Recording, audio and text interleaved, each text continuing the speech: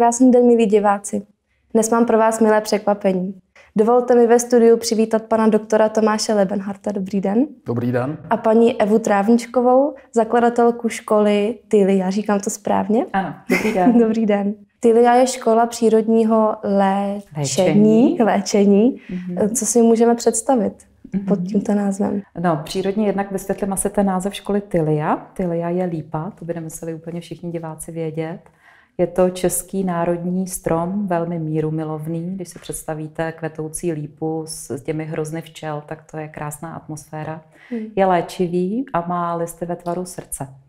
A je to taková symbolika toho, že ta škola je založená s čistým srdcem pro lidi, tak aby v ní nacházeli co nejvíc prožitků a informací, které jim budou k jejich dobru, k zlepšení jejich života, k zlepšení jejich zdraví. Úplně tím hlavním smyslem je, aby vlastně se eh, posluchači naučili eh, diagnostikovat už energetické oslabení jednotlivých orgánů nebo orgánových soustav, čili ještě předtím, než vznikne diagnóza. A pokud už vznikla, tak aby si uměli nějakými přírodními prostředky pomoci. My vlastně fungujeme na dvou místech, v Českých Budějovicích a v Praze. A studenti můžou studovat čtyři hlavní obory. Je to přírodní medicína a psychosomatika, mm-hmm. pak samostatná psychosomatika, dále tradiční české bylinářství a zdravá výživa. Jsme víkendová škola a studenti můžou nastoupit do ročníku vlastně kdykoliv v průběhu roku. Nemusí se omezovat jenom na ten leden, kdy je oficiální zahájení. Já vlastně uh, nabídku toho přírodního léčení kterou tady v Čechách máme, považuji za takový hodně bohatě prostředný švédský stůl. A eh, mým úkolem je vlastně zvolit už takový ten správný talířek, té správné velikosti, tak aby to nebyl ten úplně maličký, který vám přinesou v kavárně na nějaký pikolo kafíčko, to byste možná měli hlad. A zase, aby to nebyl ten hospodský velký talíř, na kterým vám přinesou husu s knedlíkama a sezelím, to bych asi z toho byla přejedena. Takže volit už přiměřenost toho programu, tak aby to bylo tak akorát, aby tam byla určitá smysluplnost, návaznost a aby se vyživilo i tělo, i duše, protože jsou to spojené nádoby. Hmm. To jste řekla velmi krásně. Pro mě je důležité, když sestavuju ten program, tak eh, se nesoustředit jenom na ten konkrétní program, ale i na to, jak jací lektoři budou styly vyučovat.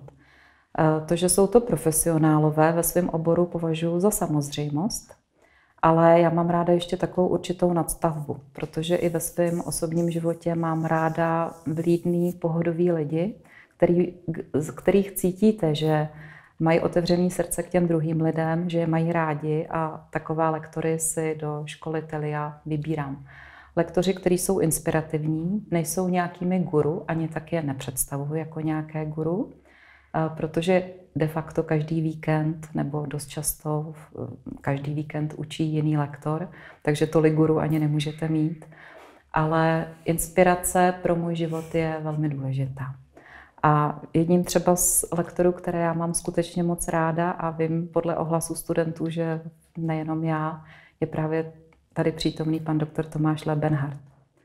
Pro mě osobnost velmi široká, vzdělaný člověk nejenom z oboru té klasické medicíny, ale i z oboru přírodní medicíny, homeopatie, autopatie, bylinné terapie, hlavně ayurvédy. Člověk, který má i určitou spiritualitu a takovou tu čistou duši a pro mě je inspirativní hodně v tom, že on uh, žije v souladu se svým svědomím. Ono to chce taky dost velkou odvahu, uh, skutečně Eh, takto žít. Můžeme si o tom říkat, to je tak jako hodně jednoduchý, ale když pak přijdou ty těžké situace v životě, tak se musíte nějak rozhodnout, jestli z té cesty uhnete, anebo jestli půjdete v souladu se svým svědomím, tak Tomáš je pro mě taková osobnost, o který eh, to předpokládám, cítím. Váže se k vaší spolupráci nějaký příběh? Jak jste se poznali nebo jak jste spolu začali spolupracovat? jsem vymapovaný, teďko nevím. Musím říct, že úplně příběh asi nějaký takový jako příběh úplně ne. On, on je to příběh, jo, ale který se mm. neustále rozvíjí, ale kdy a kde začal, to, to už je, to už to je ani hodně, hodně dávno. Jo, úplně jo. původně jsem si Tomáše nějak jako vyhlídla podle internetových stránek.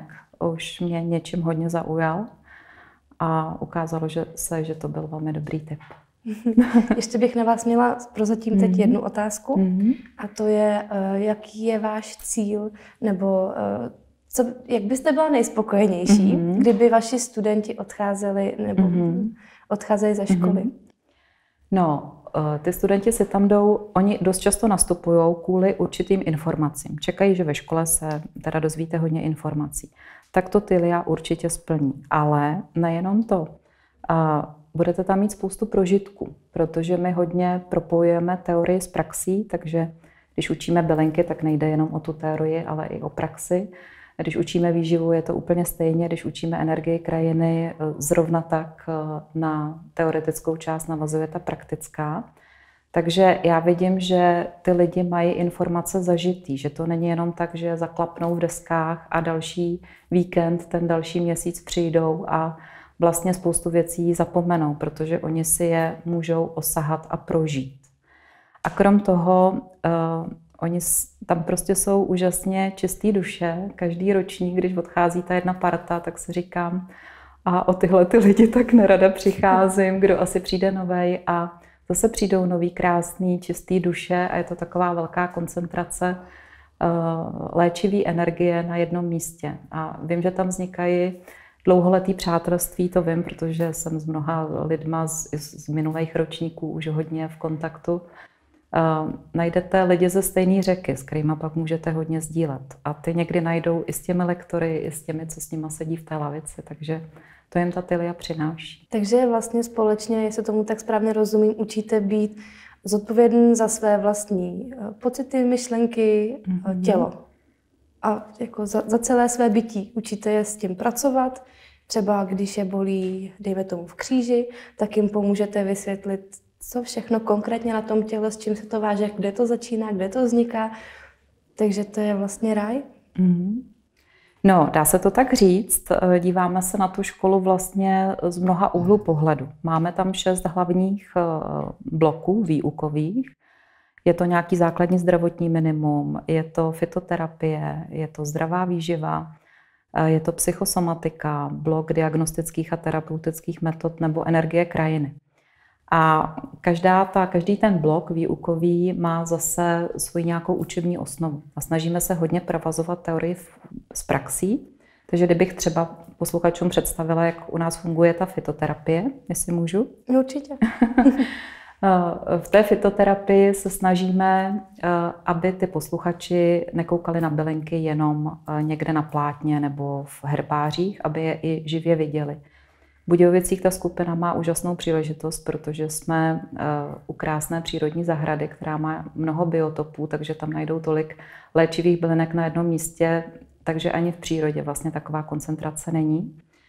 A pražská skupina zase chodí do botanické zahrady v Průhonicích a nebo jezdí na letní bylinkový pobyt, kde poznáváme bylinky každý den. Vždycky tam máme k tomu ještě další doprovodný program, třeba letos na etnobotaniku a gemoterapii. A učíme takový ty základy, eh, to, co musí každý bylinkář vědět. Kde která bylinka roste, jak se sbírá, jak se suší, jak se vyrábí eh, a míchají léčivé čaje.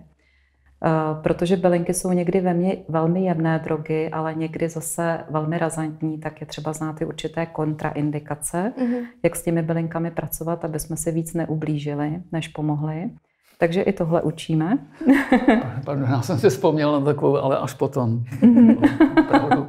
milou příhodu. No, no, tak pokračuj. Na, na bylinky. Se. Na, na bylinky. bylinky ano, na bylinky. Uh, takže tohle je v takové té teoretické části, ale připadá mi velmi málo z té bohaté boží lékárny, kterou máme všude kolem sebe, používat jenom nějaký čaj nebo nálev. Takže my s nimi pracujeme i prakticky. Mají takový praktický tvořivý víkend, a v tom se vlastně jeden den učí vyrábět léčivé mastě, léčivé tinktury, na místě je ředí i homeopaticky, eh, dostanou receptury, jak se vyrábí léčivé oleje. A ten druhý den se věnujeme aromaterapii, zase probíráme vlastně ty jednotlivé eterické oleje, k čemu v našem životě nám mohou být prospěšní. a následně vyrábíme. Takže vyrábíme hydratační krém na místě, každý si vybere vlastně nějaký svůj oblíbený eterický olej, ten se tam kape. Takže eh, co student, to vlastně originální krém. Vyrábíme i na místě z bylinek eh, suchý šampon na vlasy, to je taková originální receptura eh, lektorky. Dokonce máme variantu pro blondýnky i, i pro tmavovlásky. Fakt. Když praxe, tak praxe. A jinak dostávají vlastně recepturu úplně na kompletní ošetření těla přírodní cestou. Takže ať šampony, tělový mlíka, oleje, eh, antiperspiranty, tak aby to bylo přírodní. A platí tam zásada, že to, co si nenamažu na chleba, to si nenamažu na svý vlastní tělo. Čili při té výrobě můžete úplně všechny ingredience nejenom si eh, třeba osahat, nebo je vidět, nebo se jich dotýkat, ale můžete se je i ochutnat, protože to vám prostě neublíží. Jo. A do toho bloku fitoterapie patří třeba i gemoterapie, léčivá síla pupenů.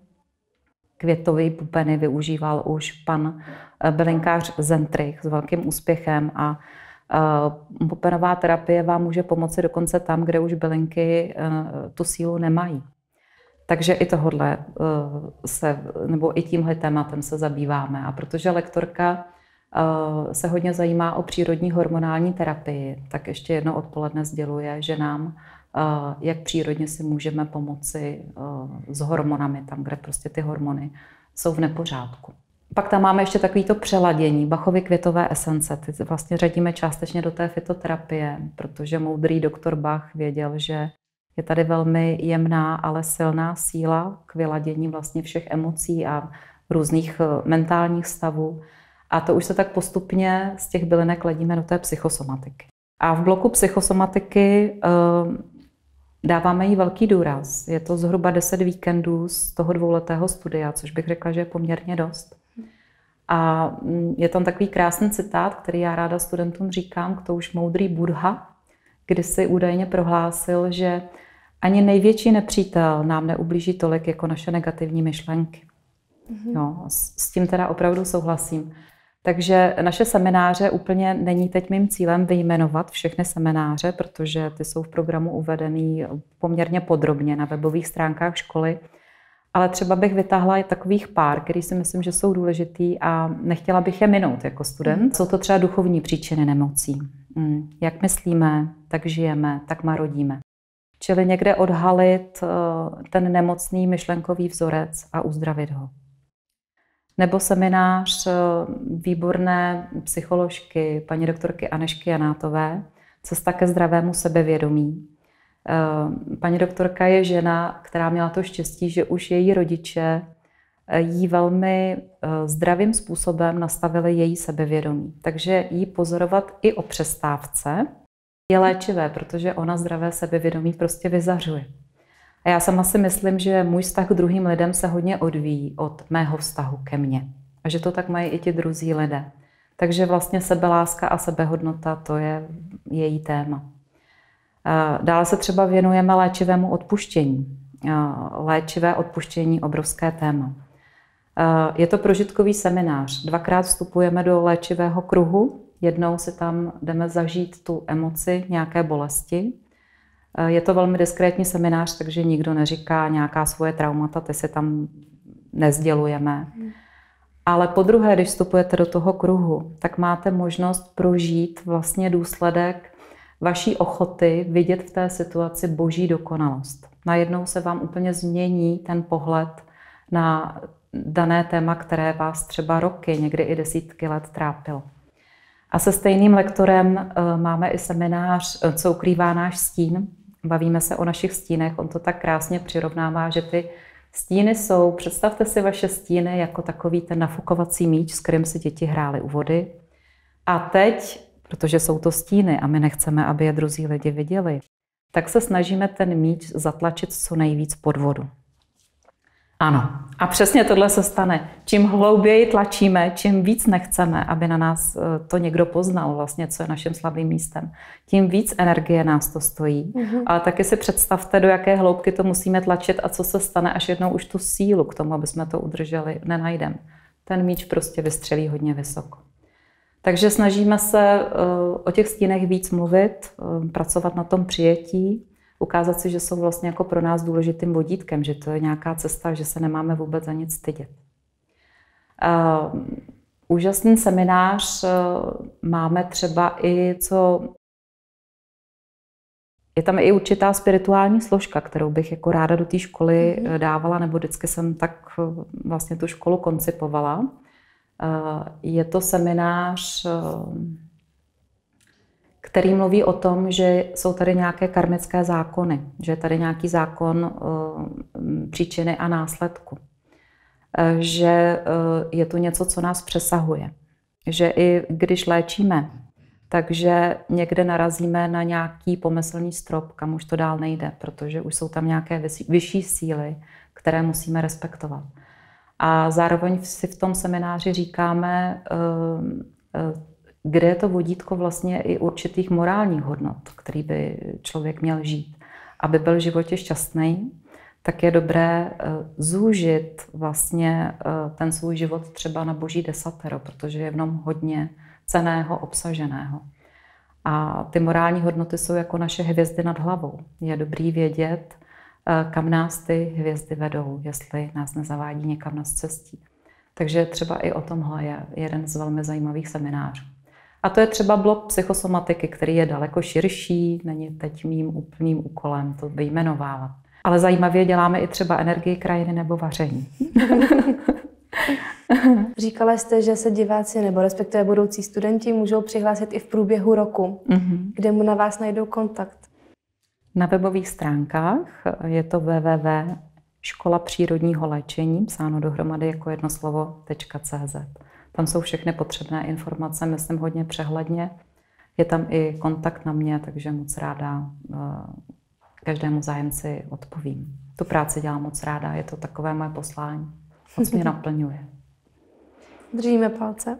Děkuji. My teď na chvilinku se přesuneme, přesuneme k panu doktorovi, mm-hmm. protože mě tady celou dobu zajímá uh, vaše vtipná historka. Jestli si podělíte i Nezapomněla. nezapomněla. Aha, já skoro jo, ale... Eh, já jsem člověk, který eh, rád jí kitky. Jo.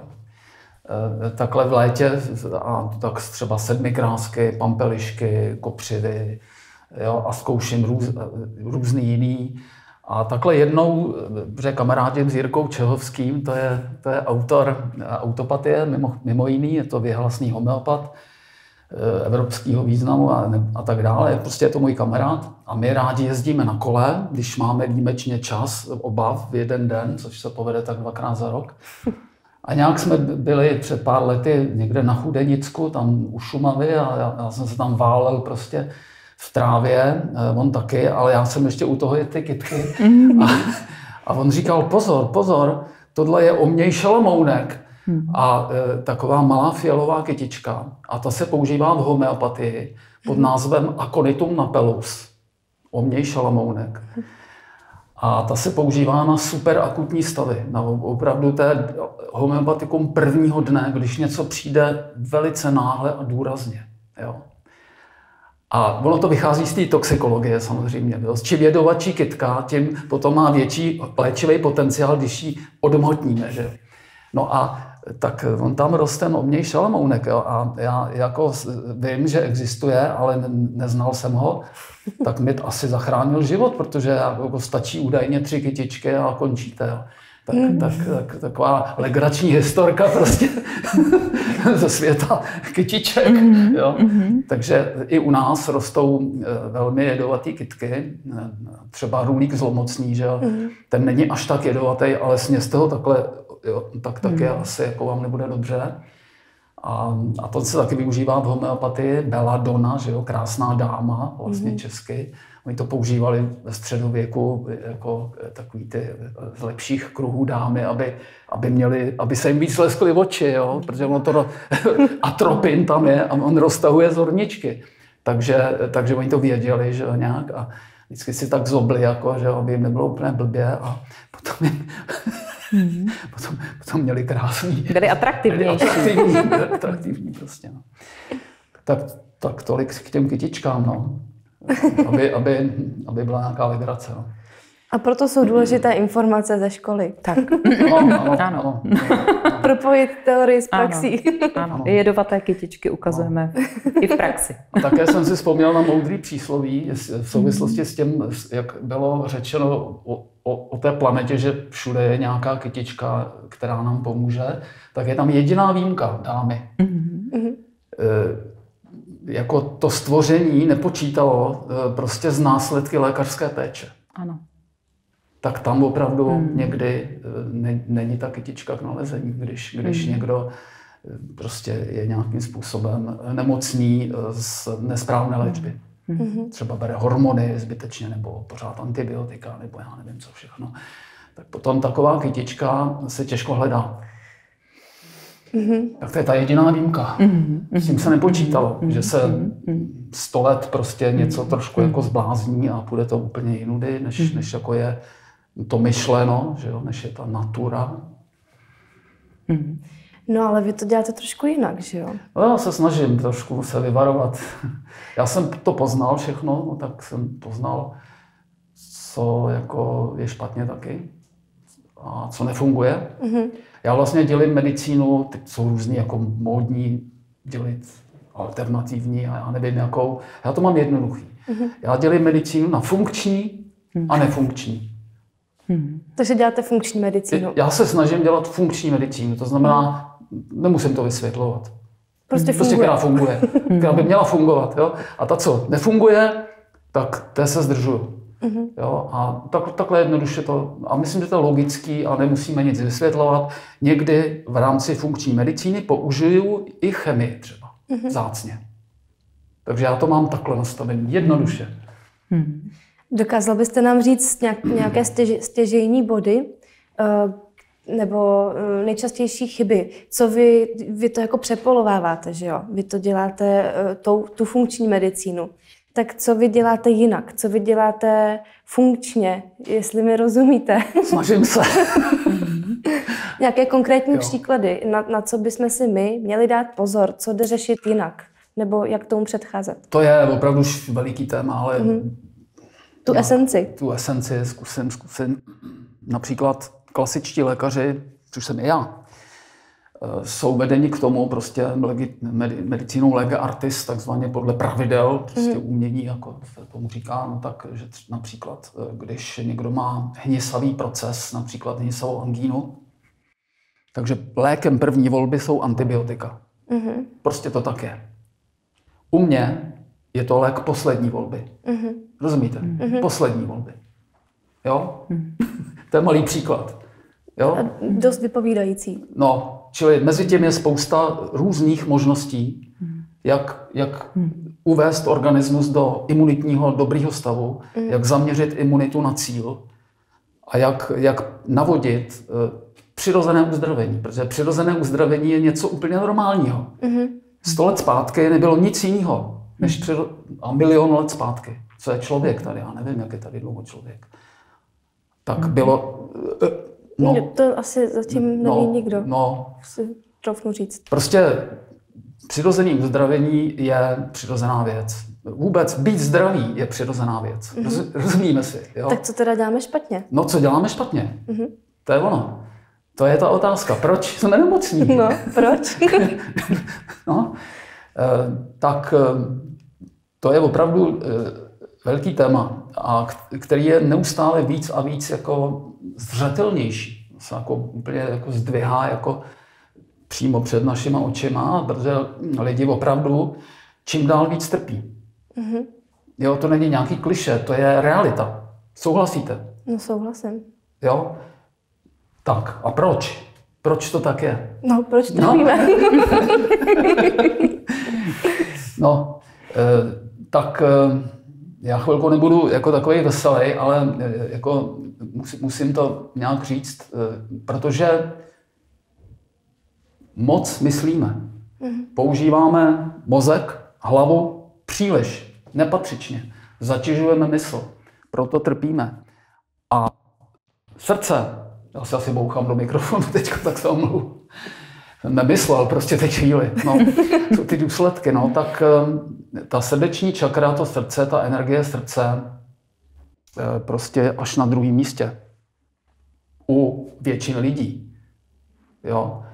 To znamená, že my eh, víc dáme na rozum, na názory, na různá přesvědčení, na dogmata hmm. jo, tak dále, než na své pocity. My jsme zapomněli, jako, že máme své pocity, které jsou velmi důležité. Naše pocit je vlastně jediná pravda, kterou máme v tuhle chvíli k dispozici. Mm-hmm. To je ta jediná pravda. Je to tak prostě. A my je, my je nevnímáme, my jim nevěříme. E, protože tady, tady jako všechno je důležité. Jo? A z toho plyne prostě to utrpení, protože e, takhle nejsme jako nastaveni tímto způsobem. Z lékařského hlediska stačí na tohleto malý důkaz. Všichni znají EKG. Viděli jste všichni, jo? rozmezí 1,5 cm, hmm. křivka. To znamená, to je síla srdce. To je elektricita srdce, srdečního svalu. Hmm. A pak je EEG, mozek, elektroencefalograf. A to jsou takovýhle prostě maličkatý vlnečky, pokud tam není nějaký problém, třeba epilepsie, tak to udělá takový hmm. velký hrot. To je, to je v nepořádku, to je výboj, ale, ale jinak normální funkce, ta, ty, ty beta, takzvané beta, beta vlnění, eh, frekvence, ta je nepoměrně menší než u toho srdce. Jo? Čili tady, tady je, tady je prostě to, eh, to hlavní, co, co člověk by měl používat. Jo? A v tom je ten základní problém. A od toho problému se hmm. odvíjejí prostě další a další už navozený, nabalený problémy, samozřejmě, které jsou spojené s tím myšlením. Jo? Třeba, třeba si tam ten názor. Názor, to je věc, to je věc mozku, že jo? Prostě. Dělám si nějaký názor na něco. Jo? Prostě. Mm-hmm. Jo? A, a, a, a ještě v praxi většinou je to tak, že přebírám názory. Jo? Že nemám dost jako odvahy, nebo prostě jako píle, nebo talentu si udělat mm. vlastní názor. Zaplať pámbu za to, kdyby to tak bylo. Ale přebírám jiné názory. A o to víc za ně bojuju. A to je politika. Mm. V podstatě. Jo? Mm. Ale když se dostanu, na, když se přesáhnu a jdu do sebe, tak si udělám nadhled. A to už není e, názor, oči, že jo? ale to už je tady.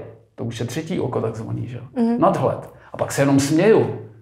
Rozumíte? Pak, pak se jenom směju, protože vidím, jak, jak blbnem všichni. Mm-hmm. Jo? Politika, co to je prostě. Já jsem byl eh, před měsícem, ani ne v Ománu. Omán prostě, jo. Eh, celkem Orient. A tam nemají politiku ty lidi, tam nemají, tam mají sultána prostě. Jo? A ten je hodnej, on teda teďko zemřel, jo, ale zase tam je jiný hodnej z té rodiny. Ale takže tam ty lidi spolu diskutují, baví se o příjemných věcech. O rodině, o, já nevím prostě, co se jim líbí a tak dále. A vůbec nikdo neřeší politiku. Představte si to. No politics. Jako Lennon, když zpíval Imagine, mm-hmm. there is no religion a, a, mm-hmm. a takovéhle věci prostě, jo. To, je, to je přesně ono. Jo. Takže Nemrhají energii. Neplýtvají energii na takový mm. nesmysl, jako je politika prostě, jo. To jsou šťastní. Jsou šťastní. Například tam jsou, i když tam je islám, ale e, i, i, ty lidi i, i, tak, i, i tak prostě jsou šťastní. Protože jsou tolerantní, je tam přátelství jako na prvním místě, a Omán je jedna ze zemí, kde, kde byl jako sufismus, jako ještě, jo, to znamená, to je ten, to je ten vytříbený, moudrý islám. Mm. Než, se, než to šlo, to je jako s křesťanstvím, že prvních pár set let to bylo taky mhm. OK. Mhm. No, myslím, a a tak dále. Nebudem zabíhat do Ne, to do asi do, nemá teď do smysl. Ne, ne, a hodně by to souviselo s tím, co ty teď říkáš. Myslíme srdcem. Určitě. Mm-hmm. No, myslíme srdcem, no, no, je to takový... Mm, no ono, jakoby... Cítíme. Cítíme. Mm. Ale ten rozum tady v té realitě potřebujeme. Takže, Určitě. Takže Určitě. co s tím? Určitě, Pak nastává rozpor? Určitě, když jsem ty šalamounky nesnět, tak to jsem použil rozum, že jo? Mm-hmm. To je jasný. Jo? Ale ten opravdu máme používat jako nástroj. Jo? Jako používáme, na, jako, jako, že jo, chci se napít, tak si vezmu ten hrneček, prostě na to, natočím si tu vodu, použiju tu ruku, že jo, ty svaly. Jo, rozum taky, potřebuji si udělat program, něco nakoupit, tak si to napíšu, že jo, mm. jsou to víc než tři věci, tak už si to musím napsat, no. A jo, ale, ale jde o to, že ten rozum používá nás. Mm-hmm. My jsme si zvykli, že ten rozum jede, jede, myšlenky jedou od rána do večera, jedna za druhou, není pauza. Mm-hmm. Věřila byste tomu? Věřila, ale je z toho cesta ven. Jo, jo, jsou z toho cesty ven, jsou, jsou. A máte nějaké typy? Mám, mám typy samozřejmě, já myslel, že to bude téma až jako nakonec, ale, ale je, je mnoho typů. Za prvé si to musí člověk jako připustit, jako ty balonky, ty, ty, ty stíny, mm-hmm. Že to takhle je prostě. Pokud mm-hmm. tomu nevěříte, tak nemáte šanci se z toho mhm. vymotat. Jo. Protože pořád jako to ego bude říkat, takhle to je v pořádku, jo, uč se víc a, a víc jako všemu chtějí rozumět, mm. jo, a ty na to přijdeš jednou, jo, jako to říkáme ve škole těm dětem, ale i doma. A nejenom dětem, ale prostě pořád, pořád se pr, jakoby propaguje ta, ta racionalita, velká racionalita, jo, prostě.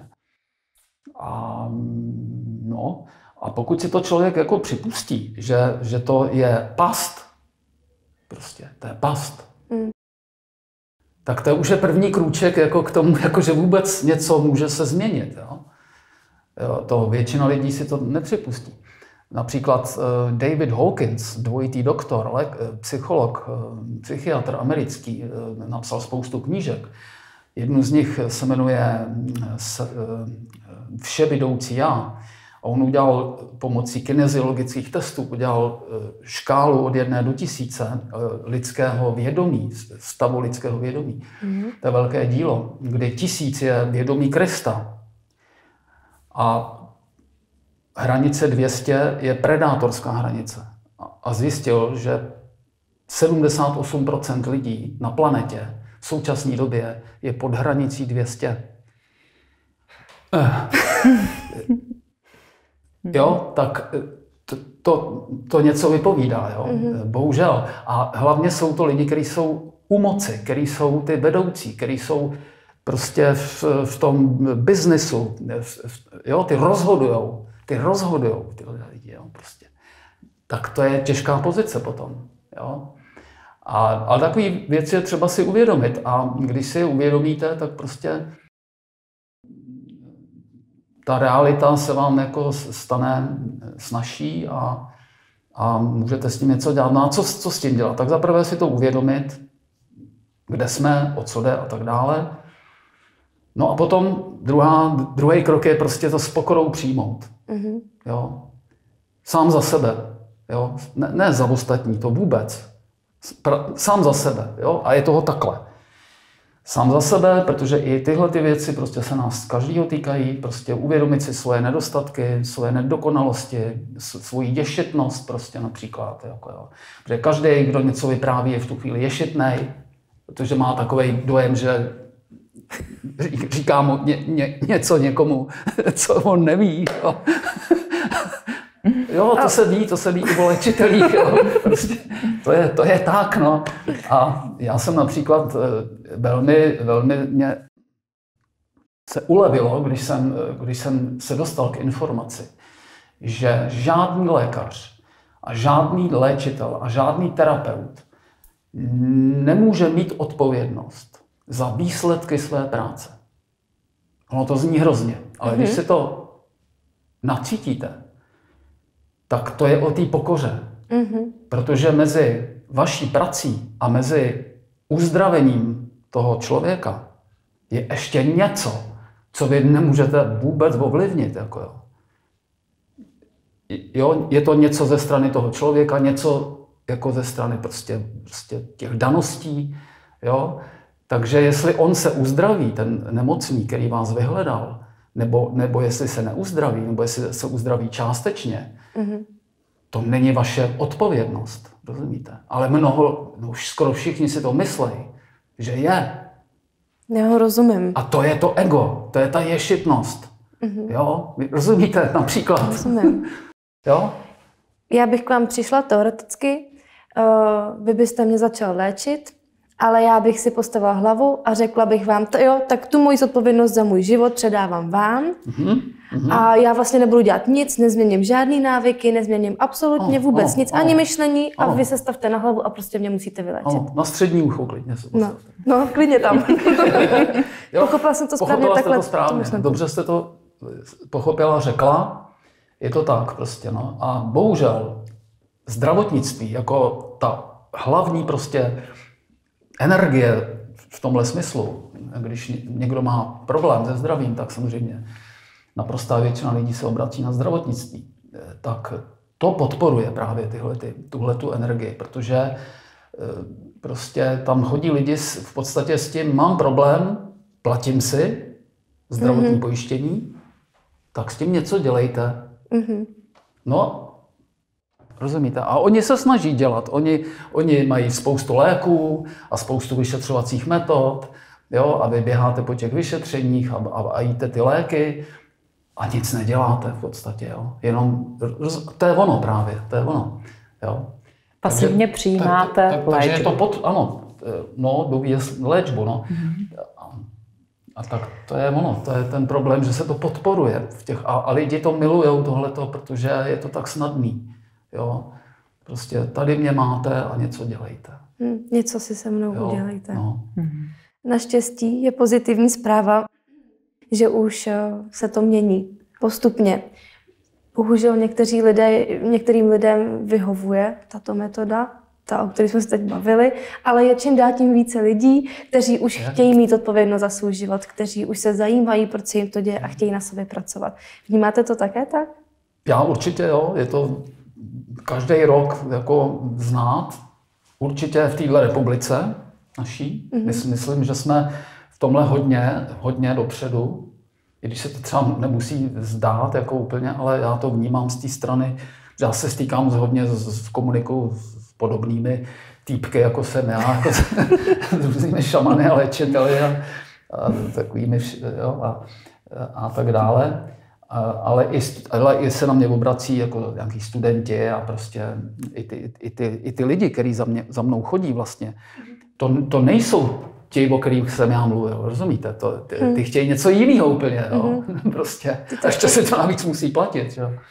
Tak ta odpovědnost je tam, že jo, prostě a tak dále. Že já to vnímám velice, velice dobře, že se to neustále zlepšuje v různých oblastech. A podporuje to i ta eh, dnešní jako přístup k informacím, který je úplně někde jinde, než byl před 20-30 mhm. lety.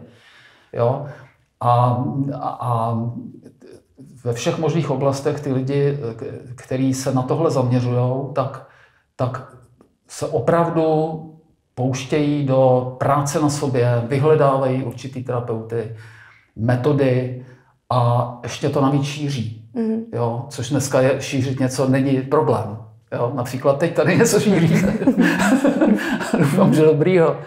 Mm. Jo, tak je to znát, máte pravdu. Je to znát, ale zase, zase to vyvolává, každá akce vyvolává reakci. Že jo. A ten establishment, mm. nebo jak to říct česky, ta, ta bašta toho, toho průmyslu prostě zdravotnického je tak silná, že tohle cítí, uvědomuje si, že, že jim neodcházejí ty lidi někam jako se uzdravovat, že začínají myslet samostatně, že mm. začínají vidět chyby evidentní prostě v tom, v tom systému. Že si i chtějí uzdravit. Mm. No a tak tlačí. A takhle bych tady mohl vyprávět, ale nechci zbytečně různý prostě příklady z praxe, jak, jak pořád to máme těžší a těžší a těžší. Jo, s tou naší praxí. Že? Jo, opravdu ten protitlak je taky velký. Mm. Čili je to teď takový jako, jako squeeze, takové jako... V kleštích. Kleštích trochu. Teď, teď se to taví. Mm. No, moc držíme palce. No, moc to potřebujeme. Děkuju. Mohli bychom se vrátit k tomu, jak vlastně vzniká nemoc. Vy jste říkal, že to je tím, že používáme hlavu a že trpíme. Trpíme, trpíme, no. A kde ta potom, jako jak se to začne projevovat? Nějaká jako energetická nevyrovnanost, nebo, nebo co se tam začne vlastně v tom celém energetickém eh, těle našem dít? tak ta první úroveň onemocnění je prostě v tom myšlení, v tom neviditelném, pak se to přenáší do toho energetického těla, to znají třeba staří Číňani, ty akupunkturní dráhy, meridiany a tak dále. No a pak se to už přenáší do fyzického těla. To je taková ta kaskáda, že jo? To je mhm. psychosomatika. Mhm. Psychosomatika. Mm-hmm. Jo? Všechny nemoci, bez výjimky. I zlomená ruka je od, od hlavy. Jo? Mm-hmm. Není náhoda nic, že uklouznu a zrovna si zlomím prostě třeba palec. Jo? Mm-hmm. Všechny kousky těla, všechny orgány mají svůj symbolický význam. Mm-hmm. Jo? Samozřejmě. Takže eh, a to tělo k nám hovoří přes, přes ty nemoci, přes ty různé prostě eh, a i úrazy a tak dále, nefunkčnosti. Jenomže my tomu nerozumíme, my nejsme na to školení, že jo. Jo, my, tomu, jo, my chceme rozumět jiným věcím, my chceme do kosmu všechno poznat, jako jak, jak, co tam je na těch hvězdách, zkoumáme mikroskopem prostě zase jako opačný systém, mm-hmm. jo. A, a, ale prostě to je, to je racionalita, to je, to je, tam se nikam nedostaneme prostě, mm-hmm. jo. Protože lidi jsou schopní cestovat vesmírem, aniž by zvedli zadek z, z křesla, rozumíte? Mm-hmm. Jo? A tak dále. Jsou schopní vidět věci nebo cítit, vnímat, aniž by, aniž by prostě se vynakládaly miliardy a miliardy dolarů mm-hmm. v nějakých programech prostě a tak dále. Jo. A mm, tak tudy prostě cesta nevede, ale vede cesta jako dovnitř. Uvědomit si, kdo jsme. My jsme mhm. dali proto vlastně, aby jsme dělali zázraky. To, na to jsme rezignovali. Hmm. Jo? Hmm. To, je, to je ten náš účel. Hmm. Jo? Každý bychom tady měl udělat nějaký zázrak prostě v tom mm-hmm. v tom, v té cestě tím životem. Jo? Každý po svým, každý nějaký takový, jo? Zázrak, to, Nebo čím poslání. se rozumí něco, co mm-hmm. není mhm. obvyklého, mm-hmm. co si všichni mysleli, že to není možný. Jo? Mm-hmm. Teď těch příkladů by se tady mohlo jmenovat spousta, co, co, co si lidi mysleli, že není možný a najednou přišel někdo a ukázal, že je to možný. Mm-hmm. Tak kvůli tomu jsme tady. Jo? Když pomineme karmu, dobře, tak, tak to, to je ten hlavní účel prostě. A mhm. taky ten život je, ten, ten, ten program, ten systém života je v podstatě hra. Jo? To je uklidňující eh, sdělení, to znamená, proč jsme tady, aby jsme si hráli. Prosím vás, hrajte si. Co nejvíce hrajte a co nejméně myslete. Jo? Akorát třeba, když jste na křižovatce, tak jako třeba jo, svítí červená, hmm. tak to jsou ty výjimky. Ale jako co se týká těch, těch velkých věcí, prostě vnímejme jako bytí jako hru. S náma je hráno, my jsme ve hře, nějaký velký, vesmírný, mm-hmm. to, to ví každý prostě probuzený člověk tohle, že jo, prostě od, od Budhy až já nevím kam. A, a my, my jsme taky, máme tu energii té hravosti. Jo? Mm-hmm.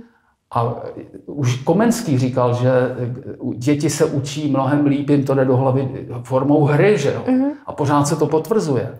Jo? To moderní jako školství a všechny ty systémy jsou založené na hře. Musí nás to bavit. Mm-hmm.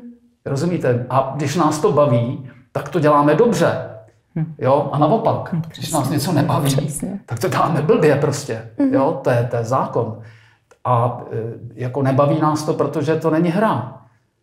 Jedna z nejhorších energií, a to bacha na ní, je vážnost.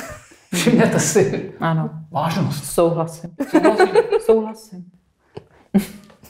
Teď si, teď si proběhněte prostě ty nejvážnější lidi, že jo? Já tady nebudu jmenovat ty, no, prostě Jo? Nebudeme si tady kazit. Nebudeme si tady kazit náladu, ale vážný člověk, tomu se vyhněte. Jo? Hmm. Toho, toho prostě, ten na vás přenese energii ne příjemnou. Hmm. Vážnost je spojená s egem, s rozumem, s ješitností, s nějaký, nějakým názorem rigidním. Smutek.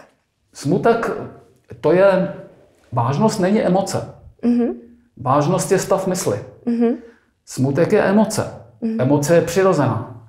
Pokud, máme, pokud se cítíme smutní, buďme smutní. Jo? Jakmile potlačíme emoci, tak ona nějakým způsobem mm. v nás začne tvořit nemoc. Že? Mm. Jo? To znamená eh, emoce, smích, radost, veselí, ale i smutek nebo vztek třeba, jo? tak to jsou emoce. Ty je třeba jako přiznat, vyjevit a pracovat na tom, aby nepřicházely. Mm-hmm. Jo? To je ten konečný stav. Eh, aby, aby nás nedostávali prostě, jo? aby jsme byli už jako, no ale to je, to je ten opravdu konečný stav vědomí. Takže mm, vážnost je, vážnost je neblahý stav lidské mysli, zrovna tak jako složitost. Mm-hmm. Všechno, co je složitý, tak je taky takový podezřelý trochu. Jo, už vám rozumím. Jo? Když se mm. něco složitě vykládá? Mm. složitě odůvodňuje politika jo? a tak dále, bankovní systém, všechno je strašně složitý. Soudnictví, advokacie. Jo? A proč to tak je? Proč to tak je? Kladete opravdu eh, náročné otázky a to je dobře. Jako, to, v tom se opravdu ještě, eh, ještě zdokonalujte, protože to, jako jít na dřeň je vždycky dobrý. Prostě, jo. Protože složitost krásně všechno zastře. Když už Ježíš Kristus říkal, vaše řeč budíš ano, ano, ne, ne. Mm-hmm. To je v novém zákoně. Jo? Mm-hmm. Tečka, konec. Jo? Když se něco řekne jednoduše, tak to každý pochopí. Všichni ví, co myslíte. Mm-hmm. Jo? Nestrácí se, se čas, energii a tak dále. Například, když profesor Fleming ve Skotsku objevil penicilín někdy v roce 32, což je jeden z největších objevů vlastně té doby jako mm. v medicíně, prostě antibiotikum najednou. Předtím lidi umírali prostě na infekce, hlavně během války třeba, první světový. A, a tak, tak on to popsal, ten objev, na, na 1,5 stránky. Jo, mm-hmm. to je, to je dokumentovaný. Prostě tak. Schnila mu tam nějaká houska, kterou si tam zapomněl přes neděli a tam nějaká plíseň se rozmnožila, tam mu sežrala nějaký kultury, nějakých streptokoků. A, a, a tak jsem to zkusil prostě na jiný zase a zjistil mm-hmm. jsem, že ta plíseň opravdu umí zabíjet ty bacily, no tak jsem ji nazval penicilín. Konec, jo. Když to teď si vemte ty, ty referáty nekoneční, prostě ty vysvětlování všelijakých prostě věcí, žvanění, že jo, prostě. A takže složitost je taková mm, věc, která e, zastírá vlastně podstatu věci. Mm-hmm. Jo? Odvádí pozornost. Odvádí pozornost, jo. Tak na to taky pozor. Vážnost a složitost patří k sobě. To jsou takový ty, no nebudu, nebudu zabíhat do detailu. Každý si to nějak vybavte mm. ze svého života. Mm. Jo? Já si vybavuju lékařské zprávy z nemocnice. Nechtěl jsem to říkat. Mělo to být řečeno. Ale hlavně jsou nesrozumitelný. Za mnou chodí spousta lidí. Jenom kvůli tomu, že mi přinesou lékařskou zprávu a ptají se mě, co jim je. Pardon, protože, že se směju. protože, protože prostě za prvé jim to tam nikdo neřekne. Hmm. Většinou, teda ne, není to úplně stoprocentně, ale většinou je odbaví sestra. Hmm. Oni to mají předat někam svýmu lékaři, ten jim nic neřekne. A oni si to potom jako třeba čtou nebo si to ofotí a nejsou z toho moudrý. Protože tam jsou latinský, řecký jako názvy, je, je to nesrozumitelný, je tam spousta čísel a písmen, různé mm. laboratoře. Jo, a ve, ve finále je třeba latinsky napsáno, že, že toho člověka bolí hlava. Mm. Jo? Mm. A on to ale ví. On to ví 20 let, jo, že ho bolí hlava. A, a te, a, a tam je to potom napsané jako hlavní prostě ta diagnoza, jo? Že, že má bolest hlavy. Chronická no. bolest hlavy. Diagnoza je teda fajn, ale řeknou mu tam, jak, jako jak s tím naložit? Jak, jak to udělat, aby ho ta hlava nebola? No ne právě, to, to je právě co ne, jo? Proto je to tak složitý. Mm-hmm. Jo, rozumíte? Odvádí to tu pozornost. No ano, prostě tady máte lékařskou zprávu, tady máte pět druhů léků, mm-hmm. tady máte naplánované kontroly, No ale to člověka dál bolí ta hlava. A hlavně neví proč. Mm-hmm. Neví proč ho bolí. Oni to taky neví. Mm-hmm. To, je to tak jednoduchý. Prostě. tak byl takový malý příklad, no, ale to najdete v každém sektoru, v každém oboru lidské činnosti. Najdete zbytečnou složitost, zbytečnou vážnost a nedostatek humoru, nedostatek hry, Mm-hmm. A když je teda absence humoru, hry, radosti, tak nastupuje strach. Co dělá strach? Ano, strach je základní energie, která vlastně nás, nás nutí myslet a nás činí nešťastnými. Mm-hmm. Je několik úplně základních strachů. Ten, myslím, že takový zásadní strach člověka je uh, o, jako jestli nás vůbec někdo má rád. Mm. Podvědomý strach. Mm-hmm. Jo? Jestli nás někdo má rád tady jako zblízka. Mm. Mm. A, a, a hlavně tam, jako jo. Mm-hmm. Hmm. Jestli je svět bezpečný místo mm-hmm. vůbec. Jestli vesmír funguje. To, to, je, to přináší velký strach lidem, kteří prostě spolehají na rozum. Mm-hmm. Že rozumem na to nikdy nepřijdete. Jo? To se musí procítit. To se musí procítit. Jo, prostě ten základní, doporučuji všem, dvě základní energie. Já to někdy, když mám přednášku, tak to maluju dvěma písmenama. Jedno je velký U a druhý je D. údiv. jako dítě malý údiv. A důvěra. Abyste si to pamatovali. Abyste si to pamatovali. Si asi zapamatujeme. To si zapamatujeme. Tak jednoduchý prostě. Jak naladit se do malého dítěte, do malinkého dítěte prostě který svět vnímá jako s údivem. Slunce vyšlo prostě. Jo. Jako něco, jo, co teď tady mám něco, jo, je to dobrý. E, a, a důvěra, protože absolutní důvěra, jo, že všechno je v pořádku. Mm-hmm. A to je dětská energie, to je primitivní energie prostě. Nepřejte si nikdy dospět, být dospělý, to je konec prostě těchto těch věcí. Jo? To už říkal John Lennon v 60. letech. Nevěřte lidem, kterým je více jak 30 let. A teď mi dochází, co myslel vlastně. Jo? Ty už všechno ví. Ty už jsou moudrý, ty už jsou vážní, ty už s nimi není žádná... To nevím, jestli nám projde. To je možná proto, proč je dnešní školní systém takový, jaký je. Že chce z těch dětí vydupat tu radost a dát je do rozumu. A hlavně ještě jako zapojit do té soutěže, mm-hmm. do té do konkurence, do té být lepší. Mm-hmm. Mít tu jo. moc. Zvítězit. Mít zvítězit. Jo, za každou cenu. Mm-hmm.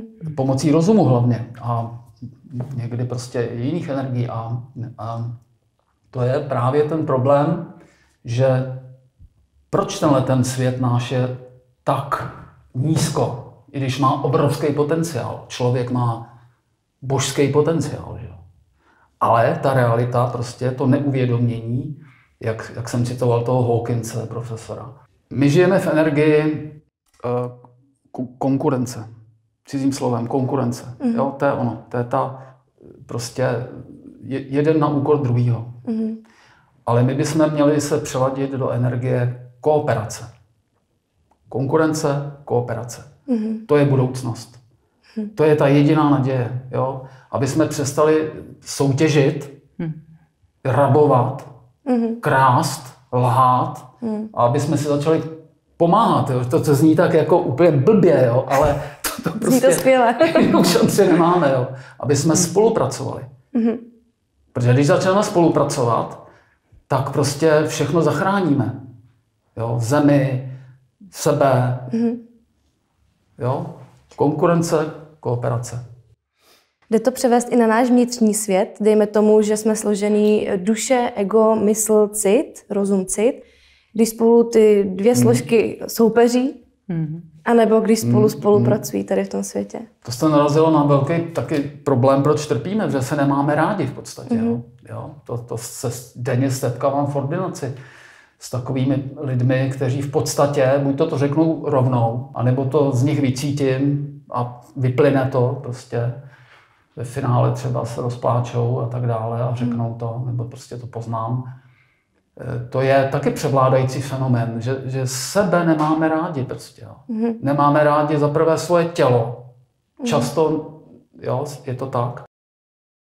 A to je taky, proč pořád se vyhledává nějaký zdokonalování, mm. proč lidi chodí do fitness, proč lidi chodí na plastiky, proč já nevím co, prostě kupují si něco, aby zakryli a tak, šaty různý a e, se módějí všelijak. Prostě nelíbí se jim jejich přirozené tělo, ale hlavně se jim nelíbí jejich jako mm, jejich, jejich pravý já prostě, jo? jejich jako, mají ze sebe blbej pocit prostě. Mm-hmm. Nebo strach. Nebo i strach. No. Strach, že jak zvládnou vlastně to zakrývání, pravdě, jo? Ty, ty mhm. balonky, ty, ty, to všecko. Jo? A to přináší takovou úzkost prostě neustálou. Jo? Stres, třeba vysoký tlak, diagnoza, hypertenze.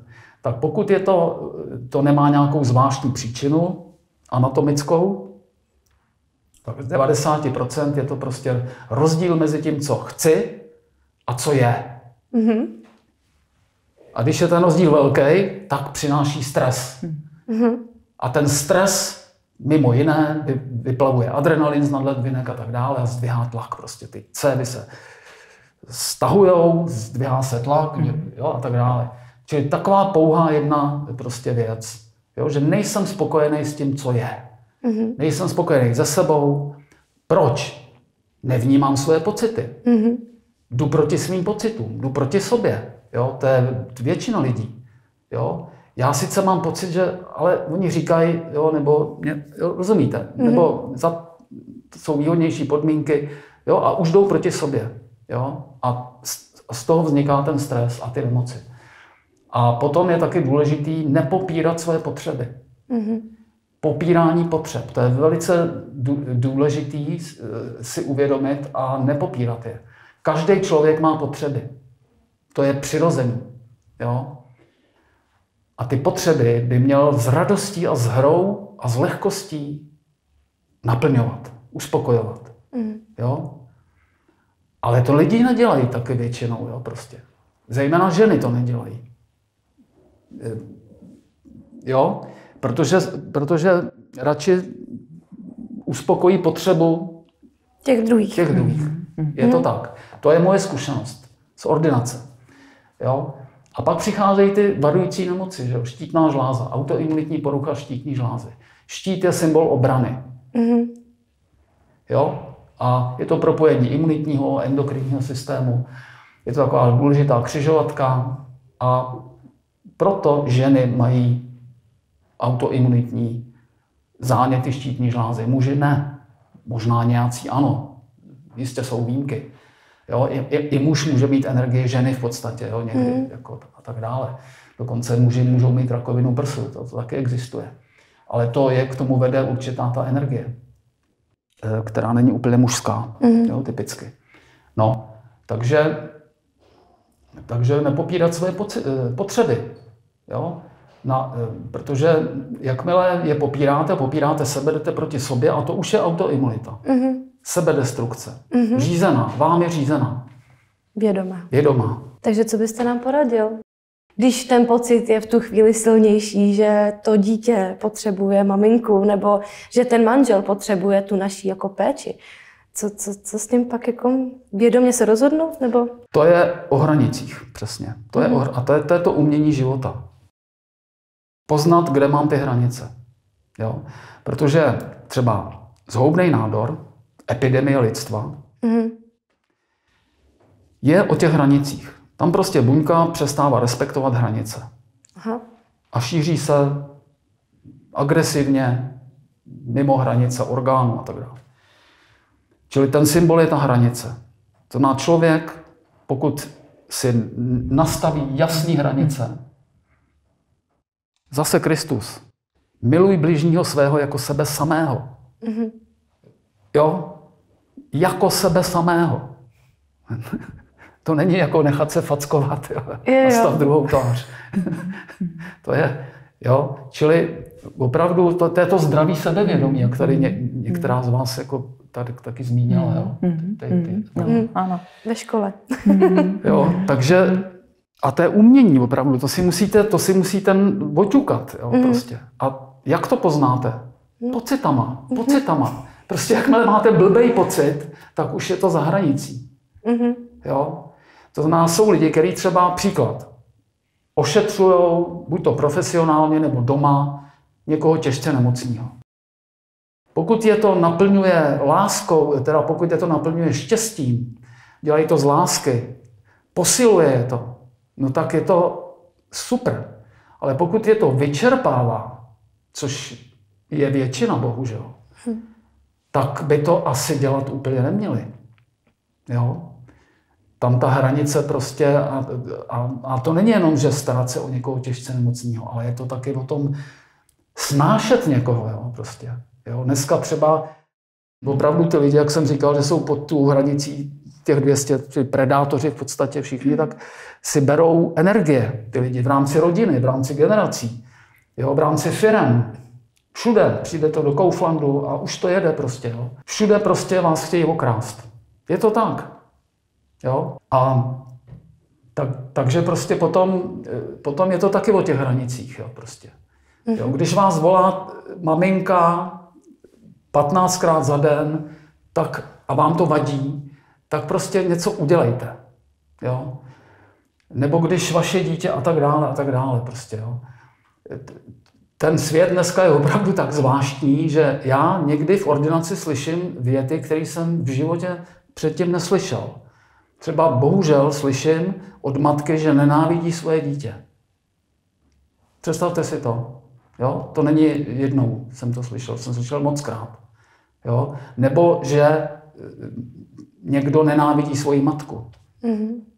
Jo? Protože ho tak už terorizuje a tak dále. Prostě to je ta realita. Protože ty lidi prostě si nehrajou. Rozumíte? Mm-hmm. Ty dělají něco jiného většinou. A z toho prostě, a tam si musíte nastavit hranice. Tam jde o život. Tam jde o život. Tam končí hra. Jo? Nastavíte si hranice a potom si můžete hrát. Takže hranice jsou důležité. Mm-hmm. Jo. Ne mezi národy, to ani tak ne, ale mezi svojí osobní sílou a mezi prostě tou sílou, která se na vás valí okolo. Jo. To, je, to už je šamanský tohle. Jo. Některé lidi jsou hodně silní, tak ty hranice mají velik, jako dál, že jo, prostě. A některý jsou jako slabí prostě. Jo. Mají to tak nastavení, že jsou prostě slabí. A ženy jsou slabší v tomhle. Prostě mm-hmm. to je daný. Ženy, ženy víc jsou intuitivní, blíž jsou k pravdě, jsou citlivější, proto jsou slabší. Jo? Proto vnímají víc ty, ubližují jim víc ty energie, než chlapovi, že jo, prostě. Tak ty by si hlavně měli dávat pozor, prostě, jo. Nastavit si pevně Nastav... hranice. Jo, bej také trochu chlap. Učíme se to, že? Jo, no. A on ten příběh pak i může pokračovat, protože třeba roky se může odvíjet v té rovině, kdy člověk řeší své hranice vůči někomu třeba z rodiny, ta despotická matka mm-hmm. nebo někdo, kdokoliv z toho okolí. Pak tu situaci nějakým způsobem vyřešíte, nebo ji vesmír vyřeší za vás, ale vy můžete pokračovat v nějakých negativních emocích vůči tomu člověku. Mm-hmm. Jo. Prostě se tam něco nedořešilo, víte, že to bylo velmi těžký, Eh, dáváte vinu tomu druhému člověku, dáváte vinu sama sobě, že jste mm-hmm. mohla reagovat třeba úplně jinak, protože už jste o pár let starší, takže i moudřejší. A můžete v čarovaném kruhu takhle pokračovat až do smrti. Mm-hmm. Jo. Tak na to bych ještě taky chtěla upozornit, že nejde jenom o ten aktuální příběh, který řeší pan doktor ve své poradně, ale i o tom, co bude přicházet potom, když už ho člověk i aktuálně vyřeší. Co byste doporučili? No, což odpovědět ty? No, já eh,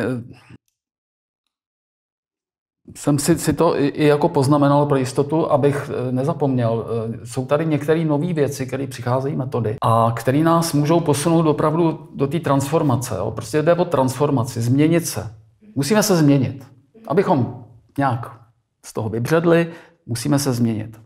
Tomu se říká transformace cizím slovem. Že? Naši diváci určitě ví. Co to je Tady se hodně používá to slovo.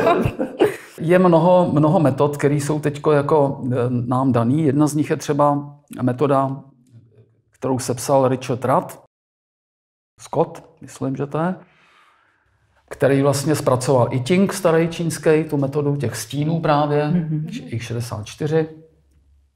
A tak to dílo se jmenuje Genové klíče. Jistě to tady už taky bylo probírané, věřím. A to je určitý návod, studovat genové klíče, e, to znamená zjistit si podle svého datumu narození, e, který se mě týkají, číst si to, uvědomovat si to, že, že tohle se mě týká, přijmout to a tím se to tako transformuje, tomu, tomu se říká ta kontemplace, že o tom rozjímám. A pak se ten stín může transformovat prostě v jinou energii, ve vyšší, v jemnější teda, jo? jako dar se tomu říká. Dar. Třeba například lhostejnost, jeden příklad za všechny, ta je teď velmi jako rozšířená mezi lidmi. Mm. Lhostejnost v tom hrubým znamená, že jsme neteční k cizímu utrpení, k sobě, k, k přírodě. Jo, nemusím... Jo. Jedno hezký přísloví je, že život, že smrt není opakem života, eh, ale eh, že netečnost je opakem, eh, že lhostejnost je opakem života. Mm-hmm. Jo? A, ale když, pos, když ji přijmete a posunete ji na, ten, na, na tu vibraci toho daru, tak pořád ta lhostejnost ve vás je, ale změní se na lhostejnost vůči svýmu, svým úspěchům, mm-hmm. s pochvalám, mm-hmm. poklepáváním po ramenou, mm-hmm. nějaký kariéře. A, to, a furt je to lhostejnost. Mm-hmm. Rozumíte? Mm-hmm. Ale je, už je trošku v jiným režimu. Mm-hmm. A tam, tam je spousta příkladů prostě a tak tou cestou může člověk jít. Jo? Nebo autopatie, kterou nám přinesl pan Čehovský, taky velice stará metoda, tisíce let, znovu nalezená, kdy si stimulujeme jemné prostě e, pránické síly pomocí ředění vodou a tak dále. To, o tom už je spousta informací, každý se na to může podívat. E, tak taky takhle se dá pracovat velmi jednoduše, ono to jde v podstatě samo, ale musíte to dělat. Mm. Jo? Musíte se proto rozhodnout, to už je určitá práce. A, a, a jsou další a další metody, eh, prostě s různými terapeuty, meditace. Prostě eh, chtít, chtít se změnit. Mm-hmm. Jo? Zjistit, že nejsem jako úplně v pořádku, to není nikdo. jo? Ani žádný guru. to je zajímavý, já znám hodně, eh, jako, ne, že třeba guru zrovna, ale takových jako hodně léčitelů známých a, a ta všelijakých kapacit přes všechno možný. A oni mají společný to, že jako umí hodně pomáhat, jako, že vyléčí spoustu lidí, ale, ale vždycky se tam najde u nich nějaká prostě něco. Téma ke zpracování. Na, jo, přesně tak. To, to kulantně řekla. Ano, ano, ano. Něco, něco prostě, co úplně není dokonalý. Jan van Helsing napsal krásnou knihu Kdo se bojí smrti. Tam jsou otázky, které se pokládají pomocí channelingu ty bytosti. Mimochodem bytost transformace, archanděl transformace, ona, ona sama si přeje, aby byla nazývána. Tam se jí ten Van Helsing ptá, jsi dokonalá? Mm-hmm. Ona odpovídá, nejsem. Mm-hmm. Jo? To je jenom, jenom stvořitel je dokonalý. Jo? Mm-hmm. To znamená, a my chceme být dokonalí prostě. Jo? jo? Se snažíme prostě být dokonalí. Takže opravdu si přiznat tu nedokonalost, ty, ty prostě průšvihy, přijmout je s laskavostí a tím se to, tím se to odlehčuje. Mm. Jo? Tím ty balonky jakoby, mm. já nevím, se sfukujou. Se sfukujou. Mm. Jo? Nebo... Mm. To je můj pohled na věc. Můj osobní pohled. Jedna důležitá věc, jsem nedávno čet, že svět je subjektivní. Mm-hmm. Zajímavá myšlenka. A já se s ní totožňuju. Takže z mýho pohledu to je ta subjekce. Prostě já to vidím takhle. Ty to můžeš vidět takhle, mm-hmm. vy to můžete vidět jinak. Mm-hmm. Každý. Jo, Můžeme jo, se shodnout? Jo, každý máme ten svůj mm-hmm. jakoby svět já říkám za sebe, jak já to cítím. Jo, prostě. Svět je subjektivní. A, takže kdo, kdo chce objektivně zkoumat svět, tak jako sorry. No, přesně. Děkujeme za váš subjektivní názor. I vám. Děkuji za vaši trpělivost. Já jsem si to moc užívala. Je něco na závěr, co byste chtěli sdělit? Třeba nějaké poselství? pro diváky? Jak se držet v těchto transformačních časech? no, eh, já bych eh, řekla eh, hodně žít v tom přítomném okamžiku. Skutečně z něj nevybočovat, protože ta mysl, o které Tomáš mluvil, tak ta s námi dělá neuvěřitelné věci.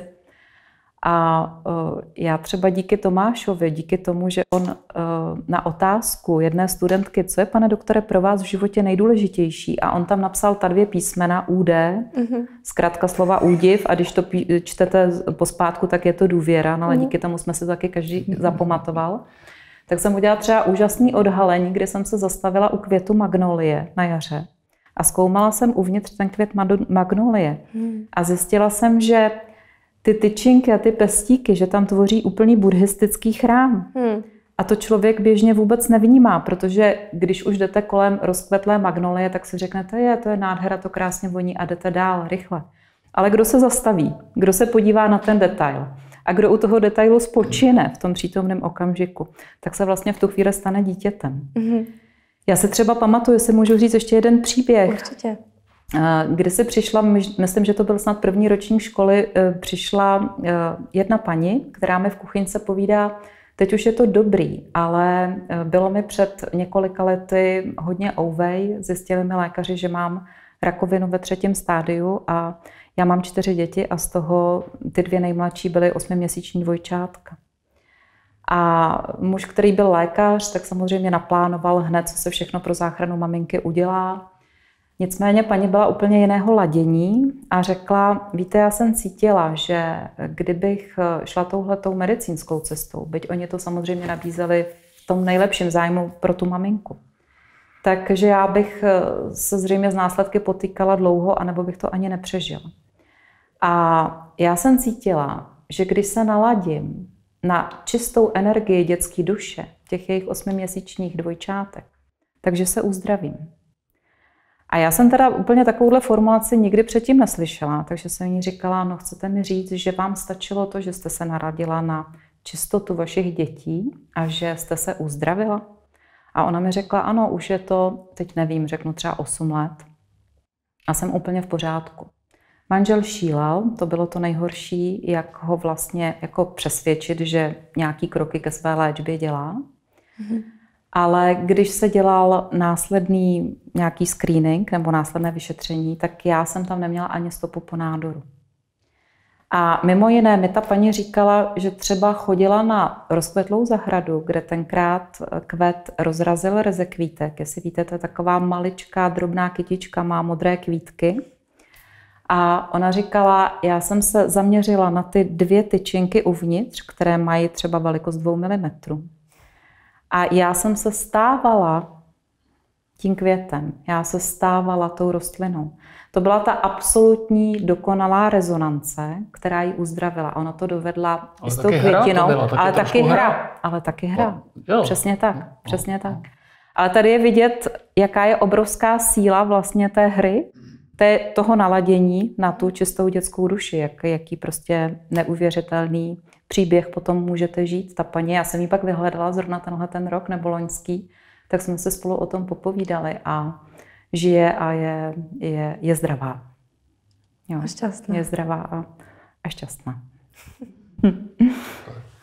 A já můžu, jestli můžu říct ještě naposled, velmi krátký příběh z ordinace, který už jsem říkal několikrát na přednáškách, ale je velice poučný z hlediska toho, co je vlastně uzdravení, mechanismus uzdravení. Psala mi paní, eh, že je v osmém měsíci těhotenství, mail, a že její holčička se spříčila a že jí chtějí dělat císařský řez. Pochopitelně. Jestli náhodou není nějaké homeopatikum, které by mohlo udělat ten zázrak, že by se ta holčička v poslední chvíli otočila tou hlavičkou a by byl normální porod. Jo? Mm-hmm.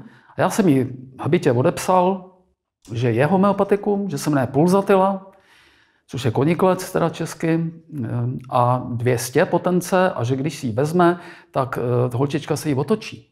Jo? A ona mi za několik dní napsala, děkuju, děkuju, děkuju. Eh, holčička se skutečně otočila, ale já jsem nestačila tu pulzatilu sehnat. To je příběh. A co, co cítíte, že se stalo? no to je to, to je to uzdravení, to je to, to je to, že prostě přes tu matku se to dostalo k tomu dítěti, ta, ta naděje, ta jistota. Já jsem nenapsal, možná zkuste něco. Ho, hotovo. A tak, protože to vím, že ten lék pulzatila je pro pro, pro i děti, které jsou samozřejmě už narozený, holky hlavně, který mají strach z opuštění. Mm. To je na strach z opuštění, jo? Rozumíte? No tak jsem si to dovolil takhle napsat jako, jako na, na jasně. Mm-hmm. A to zabralo. Ne ta pulzatila, že? protože oni neměli. Ale to, čili to, to je mhm. podstata uzdravení, že prostě se ve vás něco změní. Vy, vy uvěříte prostě. Tomáš použil sílu osobnosti u tohohle příběhu a já bych měla ještě, si můžu jeden příběh, je docela krátký a je z mé rodiny. Mojí mamince uh, před čtyřmi lety se stal docela vážný úraz. Uh, bylo jí už ale 87 let v té době a upadla na chodníku a zlomila si předloktí levé ruky, ale byla to otevřená zlomenina obou kostí, kosti koukaly ven. A dokonce teda se to povedlo tak úspěšně, že 3 cm kostí zůstaly na tom chodníku. Prostě byla to opravdu, jako to byl těžký úraz. Operovali jenom z důvodu vitální indikace. Mm. A e, pak teda kryli několika antibiotiky, ale přicházely teda různé komplikace. Dařilo se je teda postupně zvládat, nicméně to bylo týdny a týdny, kdy ta maminka byla v té nemocnici.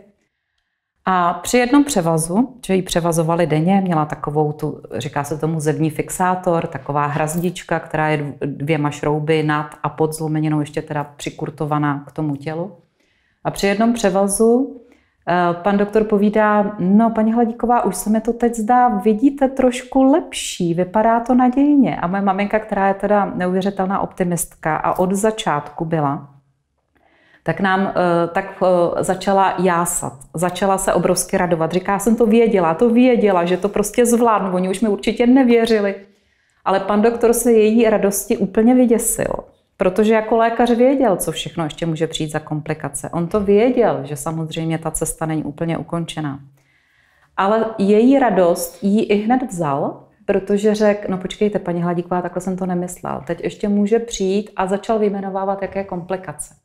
A moje maminka, takový věchýtek, prostě droboučký, se podívala na pana doktora a povídá, pane doktore, prosím vás, tak si trochu víc věřte. Což mi přišlo u té mamky úplně kouzelný. A je to, kdyby ten lékař měl tu sílu osobnosti, jako projevil ten Tomáš u té pulzatily, tak to léčení by šlo daleko rychleji. Jo.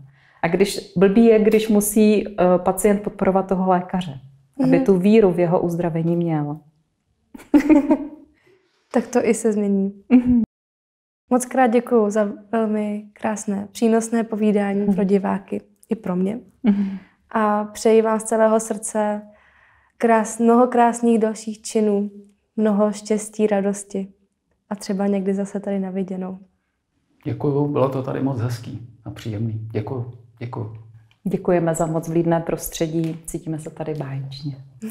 Děkujeme. Tak nashledanou. Nashledanou.